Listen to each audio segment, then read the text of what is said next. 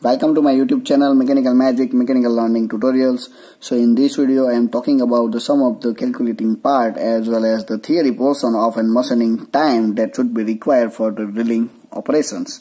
So generally how much time is taken for uh, making a hole into the required depth of the cut. So let us see the equations for the calculating of the machining time. So time t that should be equal to L upon capital N into F minutes. So here it will be the t that will be indicating as the machining time for uh, drilling operations.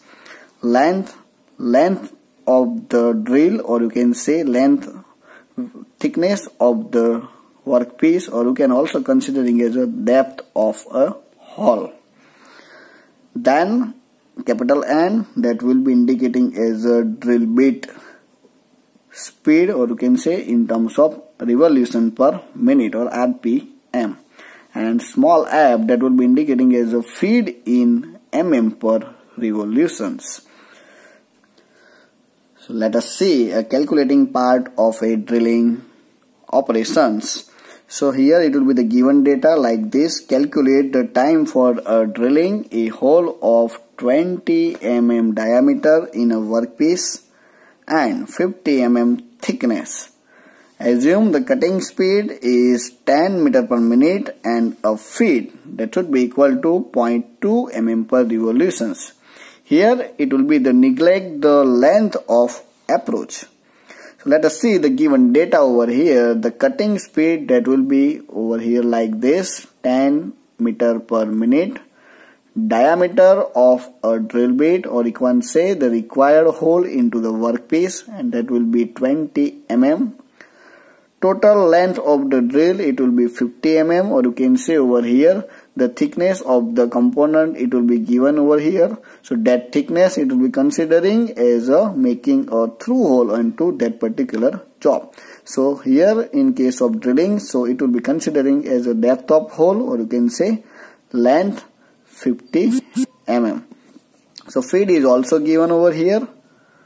So feed 0.2 mm per revolutions so as we know from the standard relations for the speed or you can say cutting speed that should be equal to pi d n divided by 1000. So just put the value of the cutting speed over here so that will be 10 meter per minute. Just put the value of the capital D that will be indicating as a hole required for the machining so 20 capital N divided by 1000 so you will get a capital N and that will be in terms of revolution per minute. So now we discuss the theory. Machining time required for the drilling operations. So T is equal to L upon N into F. So just put the value of length RPM from here and feed from the this data so you will find T is equal to 1.57 minutes. So that will be indicating as a 1.57 minutes are required to performing a 20 mm diameter hole into 50 mm thick materials. So here that will be the one thing is that neglect the length of approach for the drilling. In some cases if it will be not neglecting so you should assuming like that length of approach that will be up to 4 mm to 5 mm. It will be added into the this one.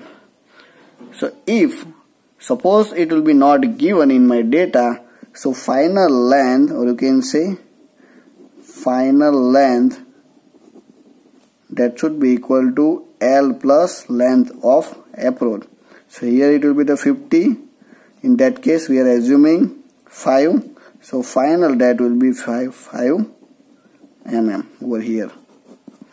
Then you can calculating the time required for the machining. So if you like this then subscribe and share mechanical magic mechanical learning tutorials. Thank you very much